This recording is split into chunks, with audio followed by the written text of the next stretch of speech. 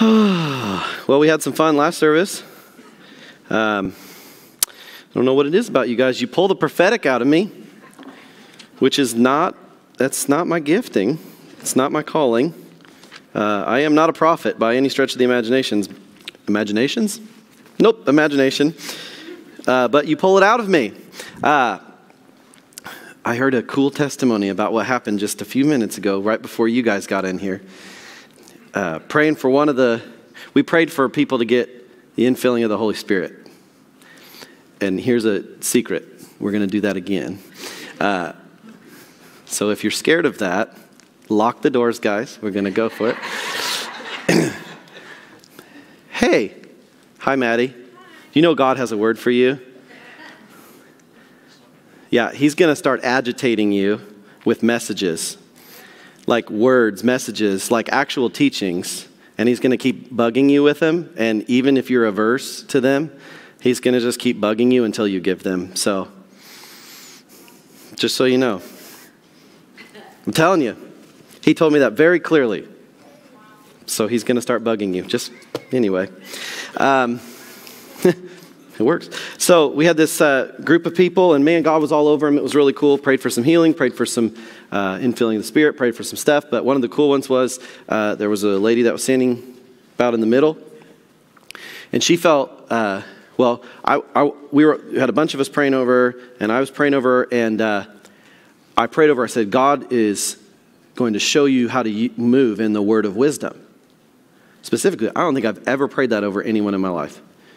But specifically, I, I saw the word of wisdom, and I kept prophesying that she's going to bring the word of wisdom uh, into public offices and all this stuff. She's going to go to places and bring the word of wisdom, right? Well, I didn't know this until after the service, but apparently God woke her up this morning and she felt led to look up the meaning of her name. She didn't know the meaning of her name. And the meaning of her name was Nugget of Wisdom. See, that's God literally gift wrapping. He's going, you know that thing that I said? See, this is how prophecy really, for the most part, should work. Is that God speaks you, speaks to you in your secret place, speaks to you in the secret places of your heart. And then you get around the body and somebody confirms exactly what God's already said to you, and then you know it was Him. I'm not saying it's always that way. I'm not saying it's strictly that way.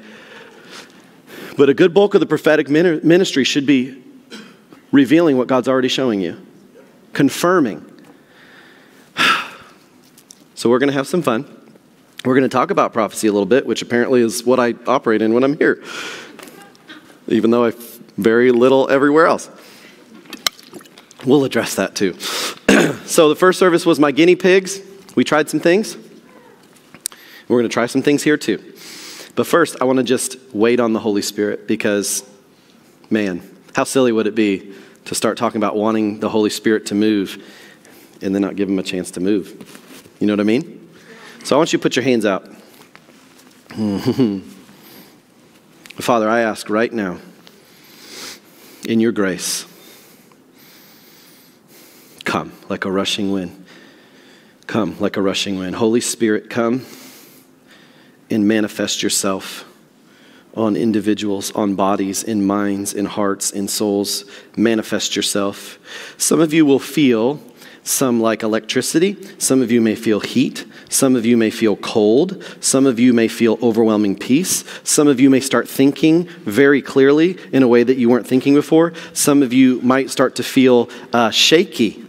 You'll notice when I pray for people, sometimes what I do is I kind of like double over, I shake. Uh, it's, it's okay. Don't worry, I'm not clucking like a chicken, okay? It's just when the Spirit moves. Holy Spirit, manifest yourself right now. I ask for a spirit of wisdom and revelation in the knowledge of you, that as the word is shared, it would come alive to us as if it's being spoken for the first time. We believe in you, God of miracles. We didn't just sing it because it's a cute song, we sang it because we believe it.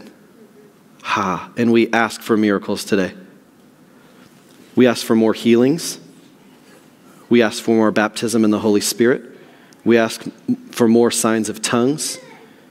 We ask for prophetic prophecy. We ask for you to move in power. In Jesus' name. Okay. I'm going to read to you uh, 1 Corinthians chapter 12, verse 1. And I'm going to try to go as fast as I can because I want to leave some time for us to, to pray. And we got to be out of here because there's a dance recital uh, by a specific time. So I'm going to do my best. Okay?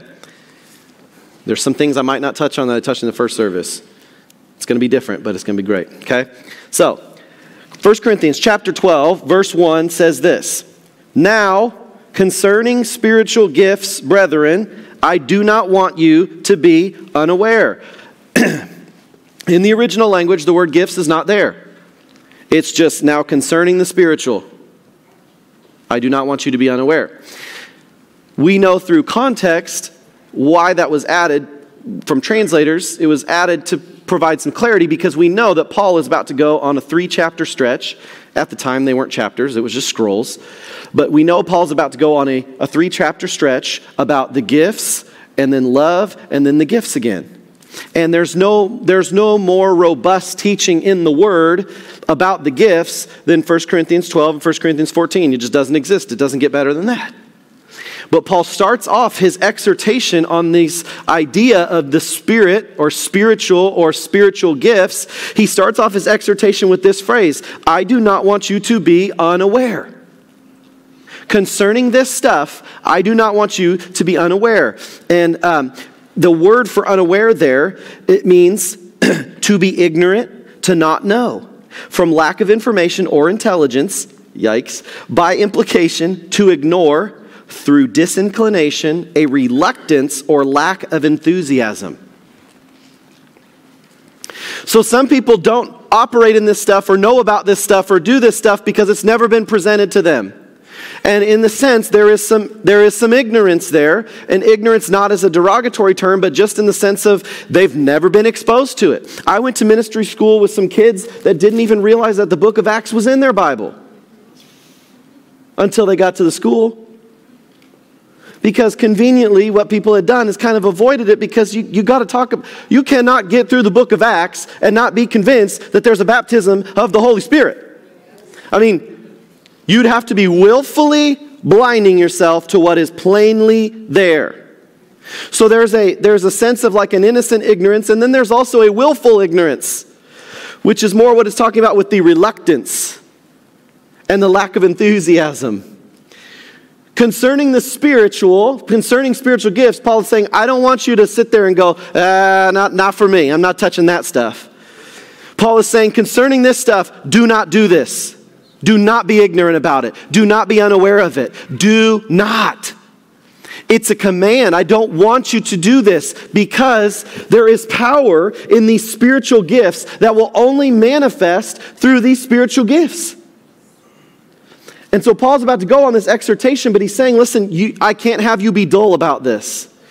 And if you don't hear me say anything else this entire time, what I need you to hear is that we are living in a time where we cannot put these on the back burner anymore. We cannot leave them off to the side and hope that nobody talks about them. That time is done. Matt talked about it in session one. We are moving into an increasingly spiritual world. And it's not going to be any longer through debate that we're talking, athe- talking to atheists about the fact there's a God and debating them with apologetics and going back and forth and becoming more entrenched in our opinions and more hatred towards each other. It's going to be, you are going to be called to help people to discern what is, what is light in the spirit and what is darkness in the spirit because it's all going to be happening. I'm telling you, there is an increased hunger for spiritual things universally or universally in our nation right now. And one of the saddest things ever that I've encountered, uh, some of you might be stretched by this, but just know wise as serpents, innocent as doves, right? I'm going to be at a psychic fair in March. We go infiltrate into the psychic fair because you know what they're doing there? They're doing healing, Reiki healing, all that kind of stuff. And they're doing psychic stuff, which is they're trying to tell people their future. And they're charging for it.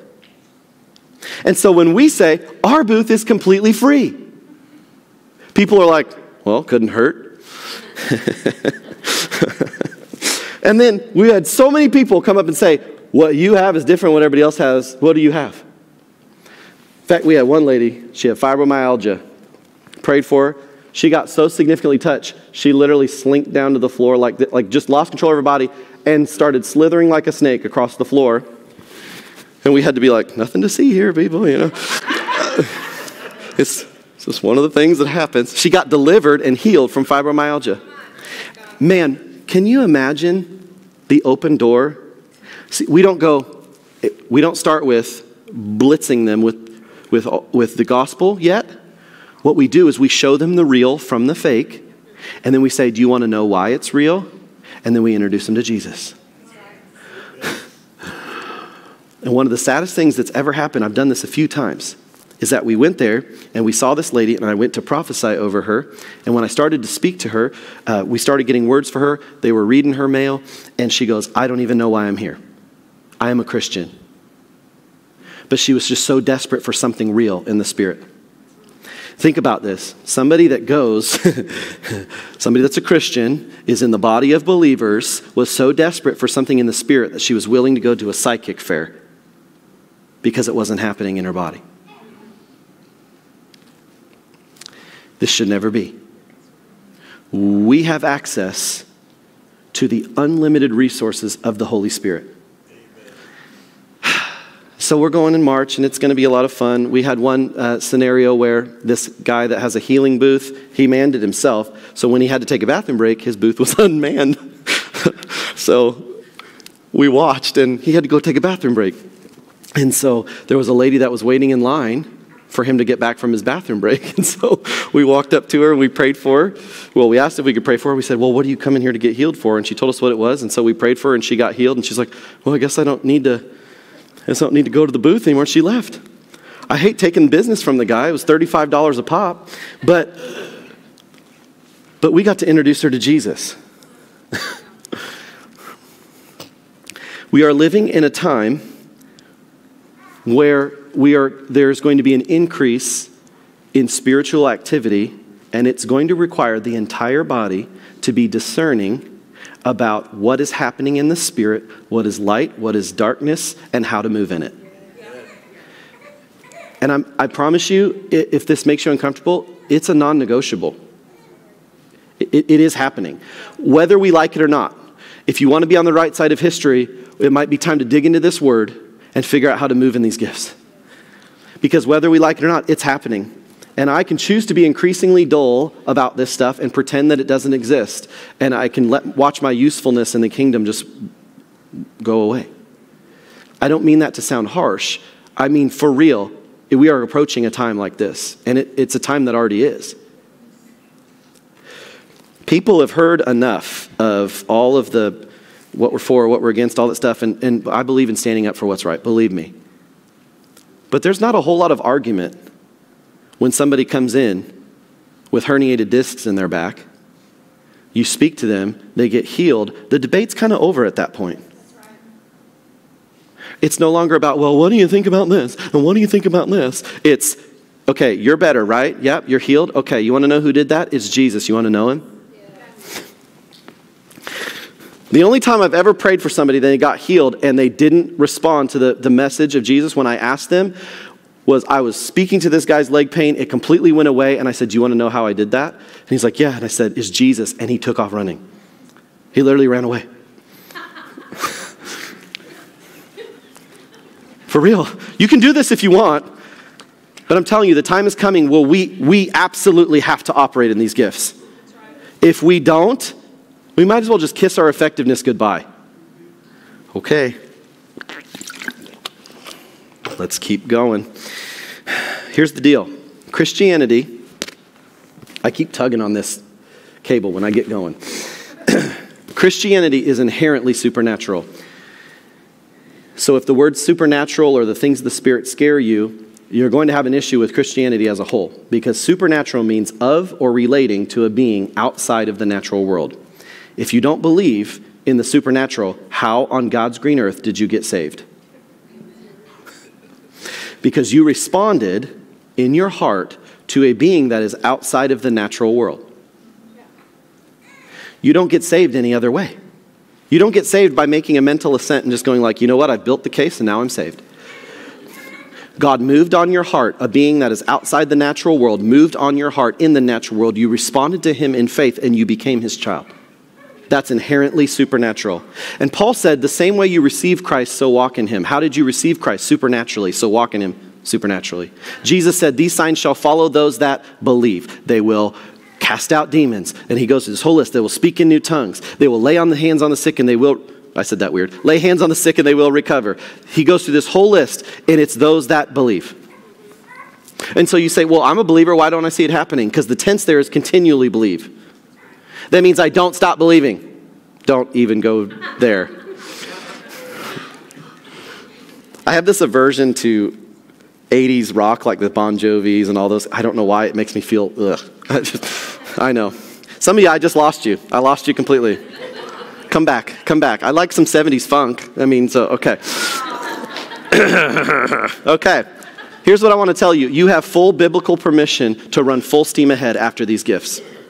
You've heard it said in the past do not seek the gift, seek the giver. Okay. I get what that means. In your pursuit of Him, He tells you through His Word, pursue these gifts. Believe me, Paul preached Christ more than anybody. Christ, Christ exalted, Christ risen. He preached Christ, man. And he's the same one that said, hunt down these gifts. Pursue these gifts, but especially that you may prophesy. He gives you full out permission. Pursue these gifts. 1231. 1 Corinthians 1231 says, earnestly desire these gifts. So pursue them with everything that you got. Pursue them until they pursue you. I would love to see a whole body of people that just gets all day long, it's just like, oh, here comes a word of knowledge. Instead, we, uh, us having to be like, oh, I got to get one. Where we're just flowing with the Spirit, and the Spirit just taps on the shoulder and says, hey, that person right there, this is what they need.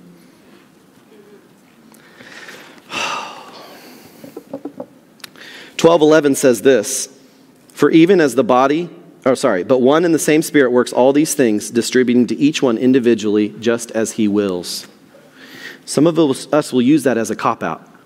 Say, well, it's just as he wills. If he wants to do the gifts and all that kind of stuff in the, in the church, then he'll do it as he wills. And if that's your mentality, you'll see it once every 50 years. This is in the context of Paul saying, pursue this stuff, go after it. In that context, God will do as he wills. What that means is he'll break out and have his way. But we have a responsibility to pursue. I, I, can no, I can no longer accept not walking in power. I can no longer accept attending church, doing the good stuff, and going on with my life. I have to, I have to get to the point where I do not accept, I will not accept anything other than this manifesting in my life. I promise you, when we get to that place, he does what he wants to. Okay, so I told you to hunt these gifts down and go after them with everything you got, right? There's a flip side to this. And we'll call it the my gift problem. Matt touched on it in week one. I listened to the whole series, by the way. The whole series. So I'm caught up on everything that you guys learned. I did. Matt did it. Week one, money. so he stole some of my ideas, even though he went first. but we tend to present this idea of spiritual gifts as what is my gift over and over and over again. Find out your spiritual gift. What is my gift? What is my gift? What is my gift? My gift. Which I don't think there's anything wrong with finding out what your gift is. But he made the point hey, listen, what if it was, what is the Spirit enabling me to do? It takes the emphasis off of mine and turns it into the emphasis on what does the Spirit want to do. Because here's what we want to do when it comes to these gifts. You want to operate in the gifts that God's given you, but more than anything, you want to find out what He's doing and partner with it to see it come into pass. if He's doing prophecy, I want to partner with Him to prophesy. If He's doing healing, I want to partner with Him to heal. If he's releasing words of knowledge, I want to partner with him to release words of knowledge. The problem is that when we become so my gift, my gift, my gift, my gift, we get pigeonholed into thinking that's the only way that God can work. Or we pigeonhole and try to force our understanding of our gifting into a place where it doesn't belong. The worst offenders of this is prophetic people. If you're prophetic, I love you. I really do. But the worst offenders are prophetic people They'll turn everything into a prophetic get together, even if it's not what God's doing. I promise you, you don't want to prophesy out of a place of the flesh. You want to say what he's saying. So the problem with the my gift thing is that we tend to go, we tend to take too much ownership of my gift.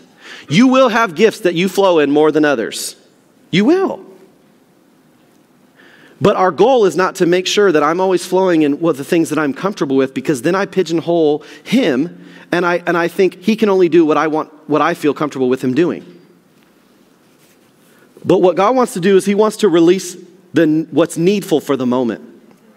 He wants to, if God wants to prophesy, which apparently when I get here, that's what he wants to do every time. Do something else, Lord. No, I'm just kidding. If there's something that is needful for the moment, it is our job to catch what he's doing and release it. I'm not as comfortable with prophecy as I am with other things. But if it's time to prophesy, that's what I'm going to do. okay. Jesus, and, Jesus operated in every single one of the gifts at some point. He, he, he flowed in all of them, and he said, You were going to do greater things. He flowed in all of them. But the goal was not that he would go, you get this one, you get this one, you get this one, you get this one, and then it's like, all right, that's that's that's your lot. You just work on that. He was an example for us. You all have permission to flow in every single one of these gifts. You may not flow in all of them all the time. You may not be have a high level prophetic gifting, but I promise you if you will yield yourself to him, there will be moments where God will give you a specific prophetic word to speak. And it will be you that's supposed to speak it, not the man up front, not the woman up front. It's going to be you.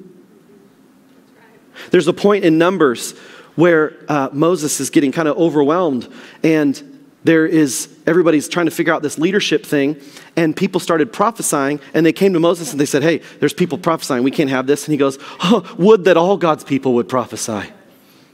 Moses is like oh he's yearning for this day that he didn't even know when it was going to be. It's called the day that we live in. He was pointing to a pentecostal reality. Would that all god's people would prophesy. God said he would pour out his spirit on all flesh. So each one of you can operate in every single one of these gifts. Now, God's going to cause things to happen. You're going to mature in certain ones, and you're going to become comfortable in certain ones, and people can look to you for those specific ones, and it's going to be great. But don't pigeonhole yourself and think, well, this is my spiritual gift. No! Because the spiritual gift was not given to you for you, it was given to the body.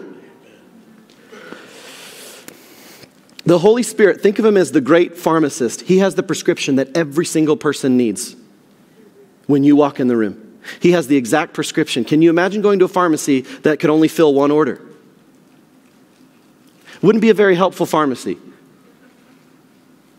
God knows what every, He knows when somebody walks in and they have hearing loss in their ear, He knows. And all He's waiting for is someone that would go, hey, someone's in here, they got hearing loss. He's like, I want to partner with that. I want to give you some evidence that it's for the body and it's not for you. 1 Corinthians 14 12 says this So also you, since you are zealous of spiritual gifts, seek to abound for the edification of the church. Your gift is for the edification of the church. When you operate in these gifts, it is to build up the body. We've all been a part of, we've all seen things that get weird where somebody's super gifted in something and then it becomes about their gifting. It's really gross. The only reason you want to operate in these giftings is not so you have a badge of honor. They're not badge of honor. It's called a gift. And the gift is for the body. Four, uh, uh, 14 4 says this, but one who prophesies edifies the church. 26 says this What is the outcome then, brethren? When you assemble, each one has a psalm, each one has a teaching, each one has a revelation, has a tongue, has an interpretation. Let all things be done for edification. It's for the body. Listen, if you don't come in here ready to operate in these, you might miss out a little bit and you might miss some edification, but it's really the body that suffers. 12:7 says this, but to each one is given the manifestation of the Spirit for the common good. Now, we need to make an important distinction there are offices and there are gifts, okay? There are specific offices where, so we have spiritual gifts, right? God gives spiritual gifts. When someone is, an, is in an office, apostle, prophet, evangelist, pastor, teacher, some combine the pastor teacher, call it the fourfold ministry, some call it the fivefold ministry. Either way, it's there, okay? Spiritual gifts, you get the gift. The office, they are the gift. Their gift and their grace is specifically if you are a prophet, your gifting is meant to cause the body around you to raise in their level of prophecy.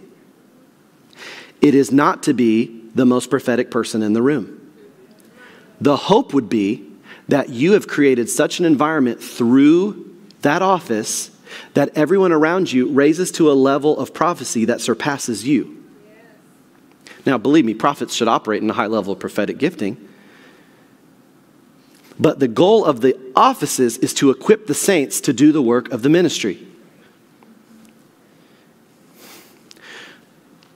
I say that only to tell you you don't have to be a prophet to prophesy. You don't have to be a teacher to teach. You don't have to be a healer to heal. All of these gifts are for all of you. I, I remember we would run into this issue over and over again. Um, well, it was an issue for me. I didn't think it was an issue for other people. But we had this prophet is coming to town mentality sometimes. We have this prophet that would come in over and over again, and uh, he would come and operate in his gifts, and people would get prophetic words, and they'd be like, Woo, can't wait till the next time he comes back. And so, really, what it ended up being is dependent on his gifting. In reality, that's somebody with a high level prophetic gifting, a high level prophetic calling. How you know if you're in the presence of a prophet is your ability to prophesy increases in their presence. You start hearing better, you start prophesying better, you start getting it, it they have a grace that they release to the body. And it's not a high thing, it's a lifting thing. I have been uh, under the ministry of a real apostle and a real prophet, modern day. And I'm telling you, we would prophesy and the accuracy, just the stuff that, man, it was unreal. You'd be like, how, did, how is this happening? Because we were under this umbrella of the grace that was released from somebody in an office. But that doesn't mean that you have to be that person to prophesy. Every single one of you can prophesy. We have got to throw away the man of God, woman of God syndrome where we just wait for that person to come in into town and to speak the word and we go, "Oh, I'm so glad I got to experience prophecy once in my life before I die." I don't think, honestly, I don't think that's what Wimber had in mind either. The father of the vineyard movement, he was so big on activating the saints, on body ministry. It'd be, there's a big difference between someone coming in and operating in their gifts and you going, that's awesome and us walking in the room and not even knowing who to give the credit to because everyone in there is operating in the Spirit. Man, I long for the day where somebody goes, Wait, who's, on, who's supposed to preach today? And nobody knows. And God's breaking out to such a degree that we just go, I guess we'll just go after this. okay. We get this stuff twisted though, man. And sometimes what we get confused is nat- our natural gifting and our spiritual gifting. And one of the most dangerous things that I, I see in the body of Christ that happens, it a lot of times happens with worship leaders. If you're a worship leader, no offense, it's not nothing against you. But they'll be so naturally gifted that their gift can move a room, but they're not theologically sound, and they get into error. And people will follow them because their gift moves them when their gift has been divorced from the Spirit. And I've watched worship leaders like this fall over and over again and take people with them because the people couldn't discern between a natural gift and a spiritual gift. That's a whole lot more important than what I just said, but let it sit with you, I guess. So, that's not what I, I, gave you a lot of foundation, and then I'm going to go really fast because of what I was supposed to come here to talk about uh, is tongues and prophecy. now, realistically, we could go on tongues and prophecy. We could have eight weeks on prophecy. But I'm going to try to do it in like eight minutes. So, what is tongues? It's when God supernaturally empowers you to pray or speak in an unknown or sometimes known language though it may be unknown to you. So there's a few applications of this, okay? When you receive the gift of tongues, okay, there is a personal application, which is me in my own prayer time, my time before the Lord, I can speak, I can pray in a prayer language that is um, undiscernible. It's not a real language. I pray in the spirit, and there's a communication, a direct communication that's happening in the spirit realm that the devil can't understand what's going on. Most of the time, you can't even understand what's going on, but your spirit is connecting in a way that's deeper than what happens on the natural level. And so there's a personal application to this, and there are some things in your life that will not get accomplished except through groaning in the Spirit, through praying in the Spirit. There are some things that just won't come to pass unless it's through that. Then there's also a corporate application. There is an actual corporate application of tongues. Paul makes it very clear that when you get together and you're joined together and you're doing your, your whole, uh, you know, uh, corporate worship thing, that if you're going to release tongues, that there should be an interpretation. There's a distinction here, though. It is not saying that if you at your seat, standing there worshiping God, you, you, can freely sing in the Spirit. You can freely sing in tongues. If you are praying uh, and you're releasing stuff, you can pray in tongues. But there's a difference between that and taking over the whole service and giving a word to the body. Do you see the difference there? There is a big difference. And if somebody is going to exhort the whole body at once, there must be interpretation. And I've been in services where somebody got up and by the Spirit started speaking out in tongues, and somebody said, I got the interpretation, and they started it, interpreting what the person was saying. I've seen it happen. And that's absolutely biblical. Tabby grew up in a scenario where uh, a guy would stand up and start praying in tongues, and it was totally out of sync with what was happening, and everybody's like, oh, just let the guy finish, I guess, you know? And just do it at the most random times. And that's exactly what Paul is speaking against. So it, it is all about context. It's all about context. Every one of us can pray, sing, all of it. God, God has made that available for every one of us to use that spirit language. Now, some people are going to move in it to such a degree where they interpret at a high level and they speak in multiple prayer. There, there are people that are going to, that's kind of their, their avenue. But I believe the gift is for everyone. And there's another application. There's an evangelism, evangel, evangelism, evangelism aspect to this, where I, I know of stories of people that went on the missions field, did not, they, they met people, they did not speak their language, they spoke in tongues, and the people that they were speaking to heard what they were saying in their native language. So it is a sign as well. Okay, there, there is a sign aspect of this. So there's multiple applications, but what happens is if it is given to the body, interpretation is needed. But we get this idea, I think, when we read this passage that because Paul says prophecy is a superior gift, we kind of poo poo tongues and put it off in the corner. Just because prophecy is a superior gift because it's easier to edify the body with, doesn't mean that there shouldn't be speaking in tongues. It's he's saying if there is, it needs to have an interpretation. I hope that's making sense. So I want to make a case for you that, that Paul is making because we poo-poo off tongues and how many of you you regularly experience people just speaking out in tongues with interpretation? It, it's not a normal wrong use of that word. It's not typical as what we normally see, but it should be.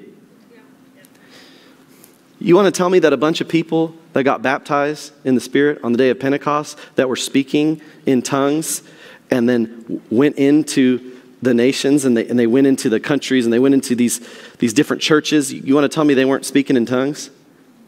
Listen, no one was saying, like, no, that's not for today.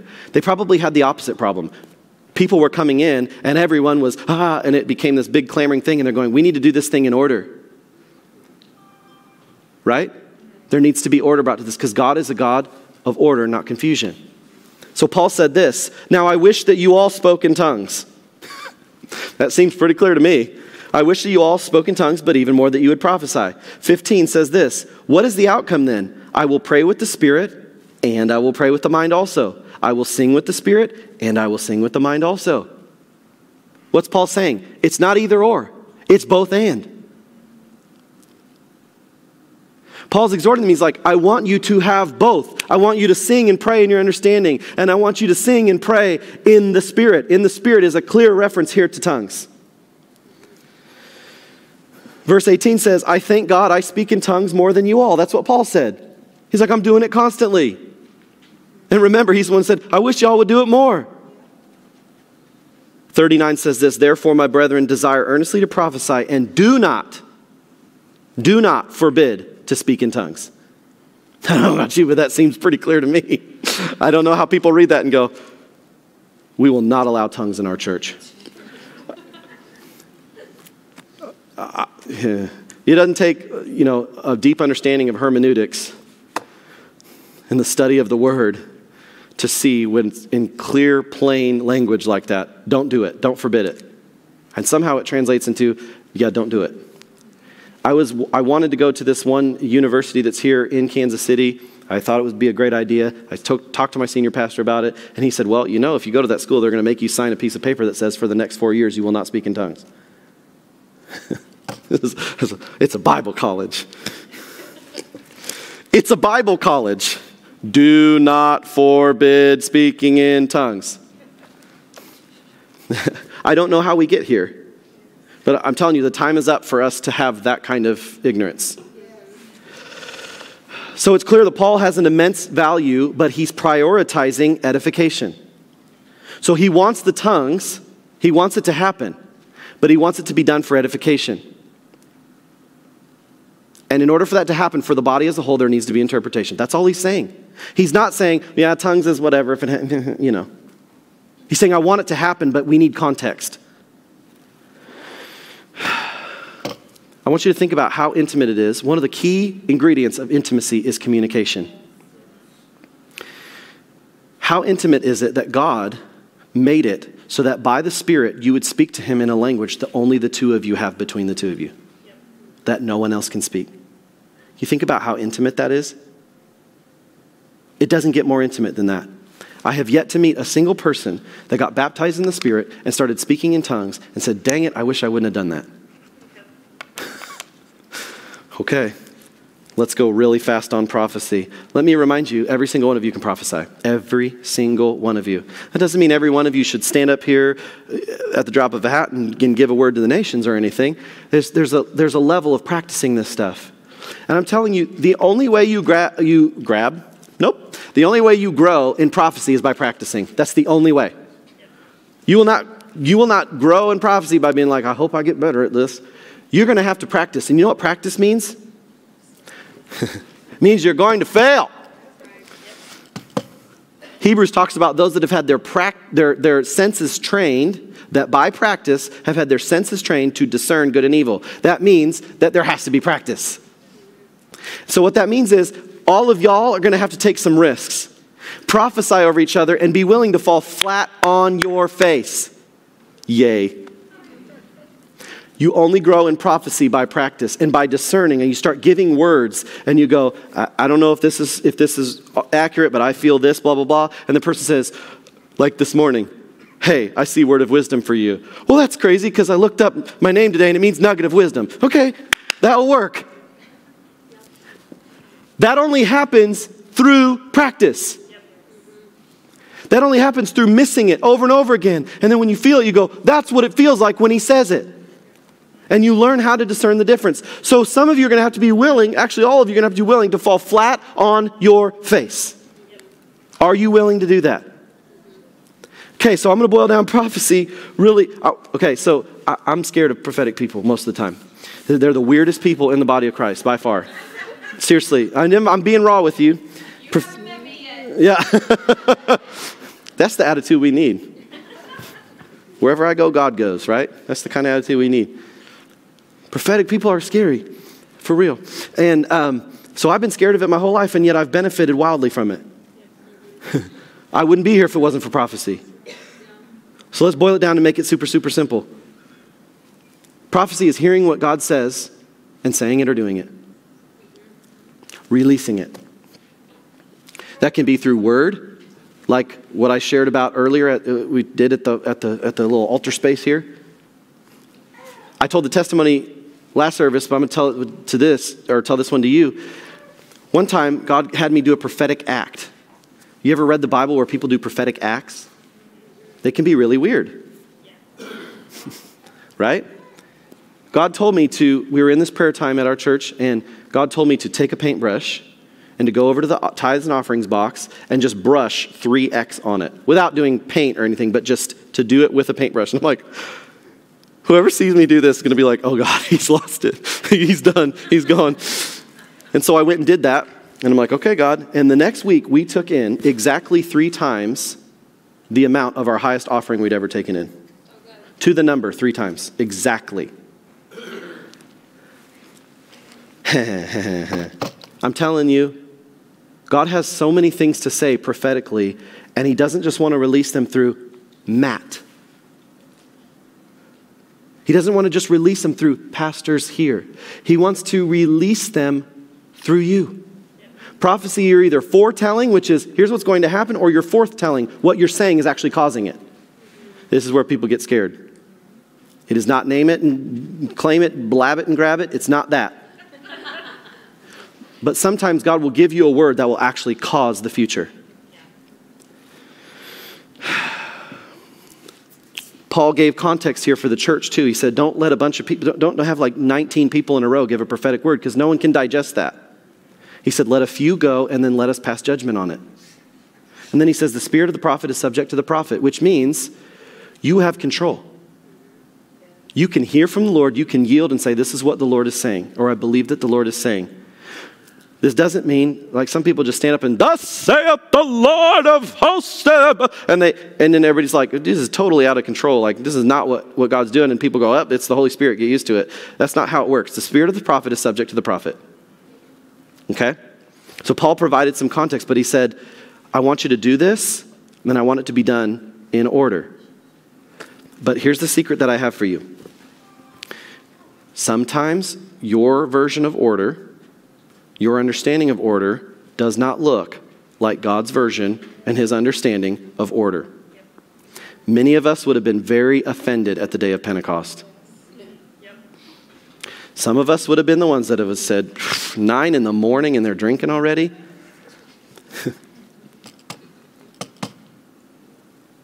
but that was the birth of the church. If the birth of the church was this, why would we think it'd be different 2,000 years later?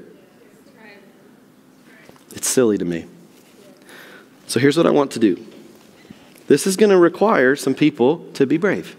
It's going to require some people to yield and be willing to take risks, okay? Here's what I want.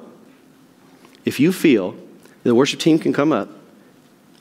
If you feel a tug or any sort of pull, or you go, even if you're a little bit hesitant, you say, I want, I want more. If you have not been baptized in the Holy Spirit, I want you to come up if you have not operated in the gifts, maybe you have been baptized, but you haven't seen a lot of evidence of it, I want you to come up. And some of you, you're going to have this feeling of uh, this white knuckle feeling where you hold onto the chair and you're like, no, I am not going up there. You are the perfect candidate for this morning. Okay, so here's what I want you to do. We're going to go into this song. It's going to be about miracles, and we're going to believe for miracles. Does that work for you? You know what's wild? You guys are quieter than the first service, and that's never, I've never seen that. since I've been here. Maybe it's you're just thinking. so here's what we're going to do we're going to worship, and I want you, go ahead now.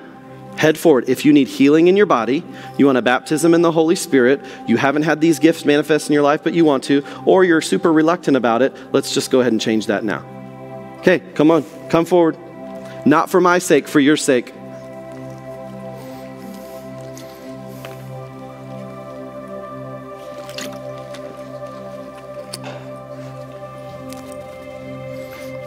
Don't be shy. Some of you might feel heat, some of you might feel electricity, some of you might feel cold, some of you might feel overwhelming peace. God's going to show himself to you. You're going to feel a sense of presence. I know there's more than this. I know it. I know there is. Just make your way up here. I know. I just know there's more. This is not to make me feel better. I knew it. This is not to make me feel better. We have to have, we have to have the demonstration of the Spirit. We have to have the demonstration of power. We have to. It's no longer an option. If you have received the baptism of the Holy Spirit, you're the prayer team. So I want you to come and pray over these people. This cannot just be, I pray for people. That's dumb. I need people coming forward, I need them praying. Okay? So if you have that baptism, I want you to come forward. And we're going to pray for these people. We're going to believe for a filling. And you know what? Even if you don't come down yet, and five minutes from now you're like, oh, dang it, I should probably go, get up here. Okay? Let's go into the song.